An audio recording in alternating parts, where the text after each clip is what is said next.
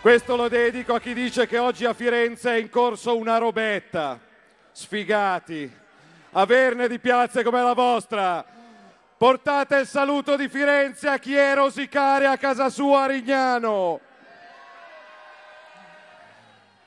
Io vi ringrazio, sarò al fianco di Massimo per restituire Padova ai padovani.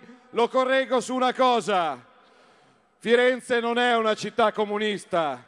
Firenze è abusivamente occupata da qualche bugiardo che manderemo a casa il prima possibile. Firenze non è Matteo Renzi, la Toscana non è Matteo Renzi. È altra roba. Grazie ai toscani che sono qua, siamo qua per voi.